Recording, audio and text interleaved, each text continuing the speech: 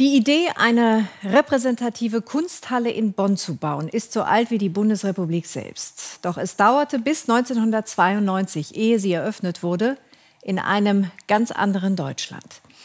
Nun wird die Bonner Bundeskunsthalle 30 Jahre alt und die berühmte Performancefrau Marina Abramovic ist eine der Gratulantinnen in einem Gebäude, auf dessen begrüntem Dach hellblaue Lichtschächte der Hingucker sind – und in dem zahlreiche Ausstellungen wie die der Bildhauerin Niki de Saint-Phal immer wieder für künstlerische Debatten sorgten.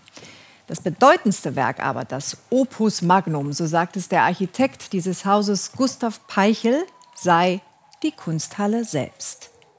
Über das Jubiläum in der alten Bundeshauptstadt Rupert Wiederwald.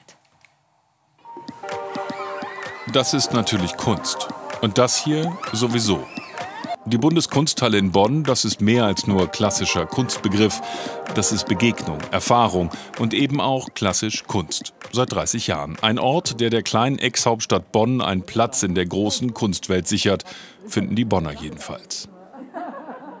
Die Welt kommt hier einfach nach Bonn. Man muss nicht in die Welt reisen, egal ob das MoMA aus New York oder Petersburg, äh, die Kunstsammlung. Alles kann man hier sehen. Deswegen fühlen wir uns auch so wohl hier, dass wir so ein tolles Angebot haben und genießen das auch sehr, dass wir nicht weit fahren müssen und trotzdem hier das Gefühl haben, irgendwie in einer großen Stadt zu leben. Die Kunst- und Ausstellungshalle der Bundesrepublik Deutschland ist hiermit eröffnet.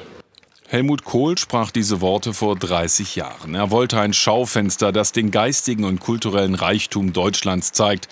Er bekam erstmal blanken Protest. Vielen erschienen Idee und Kosten von 130 Millionen Mark ein wenig überdimensioniert. Seitdem gibt es hier in immer neuen Ausstellungen alles zu sehen, was irgendwie unter dem Titel Kultur laufen kann. Darunter fallen auch die Schätze des Pharao Tutanchamun, Kleider von Karl Lagerfeld – oder Popkonzerte auf dem Museumsvorplatz.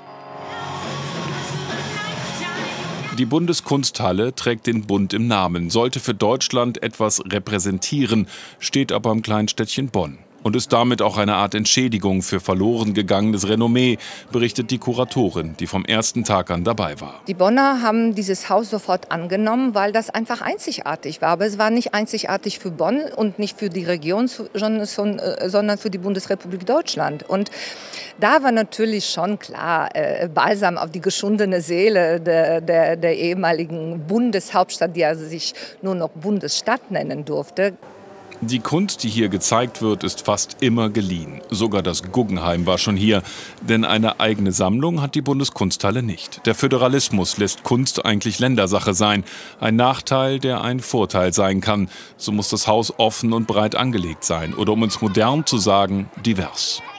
Die Internationalität ist uns nach wie vor ein Riesenanliegen. Wir versuchen aus der ganzen Welt Schätze zusammenzuholen und vor allem unseren Besucherinnen und Besuchern das zu zeigen. Die Bundeskunsthalle ist mit der Zeit gegangen. Für Geflüchtete aus der Ukraine bietet sie inzwischen eigene Führung an. Auch Teil des Kunstbegriffs hier. Und ganz klassisch feiern sie den Geburtstag heute Nacht mit einer Party. Und dieser Lichtinstallation des finnischen Künstlers Gari Kola.